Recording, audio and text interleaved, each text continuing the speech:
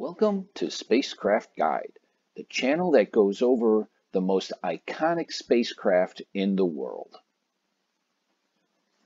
In this issue of Spacecraft Guide, we're going to work on the International Space Station and on the caution and warning panel, we're going to work on the button, the Delta pressure push button. And when you click on it, it takes you to the rapid change in pressure push button. Now this is uh, a warning that comes on when there's too much of a change in pressure, usually a leak in the International Space Station. And it illuminates when rapid change in ch cabin pressure is detected in pressurized elements. Push buttons are used for manual event initiation and silencing events.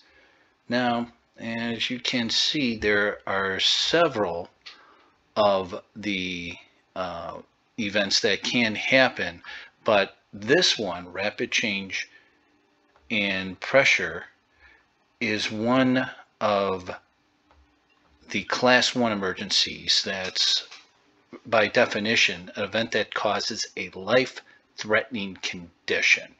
So that is what you would be dealing with if you, this alarm went off. Now, the interesting thing here is the non-normal operations. And if you click on the non-normal, it takes you to the leak pinpoint and repair node one. Now, one of the interesting things, I see this in a lot of the checklists, but they talk about all the things that you might need here.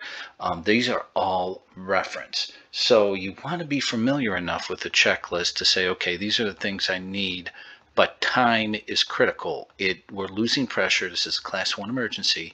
So we just passed it up.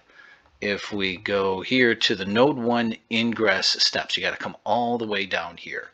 And it says go to ingress node 1 and then find the maximum duration that for the node 1 ingress. In other words, you got to find how much time uh, that you have to work on this problem. Because if you don't have enough time, you could asphyxiate by the loss of oxygen and loss of pressure in that station. So that's, you can see that is the, the, the second thing you do in this checklist, but it's after all these other stuff. So you have to be you have to be situationally aware of these emergency checklists.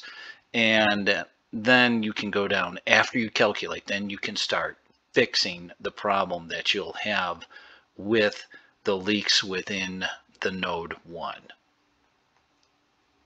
That's all for this week. If you would like to use this interactive virtual reality exhibit on the command module, the lunar module, and the surface of the moon, just go to our Patreon page and the link will be down below.